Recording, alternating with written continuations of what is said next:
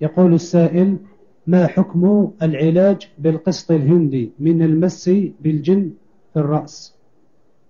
هذا تسأل عنه الأطباء أنا من الطبيب. ولا شك أن القسط العود القسط الهندي فيه نوع من العلاج لكن لا تقدم على علاج إلا بعد استشارة الطبيب. لئلا تأخذ علاجا ضارا أو علاجا غير مناسب لمرضك شاور الأطباء. نعم.